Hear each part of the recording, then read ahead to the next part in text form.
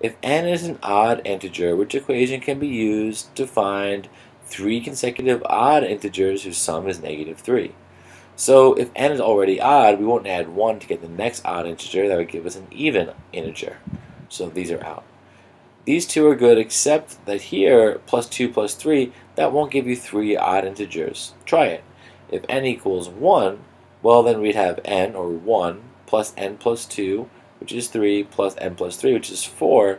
And, well, first of all, this does not equal negative 3, but also 4 here is even, and we don't want even numbers here. They, they ask for odds. So choice 3 plus 2 plus 4, that does equal, um, that, that is correct. It does match the requirements here.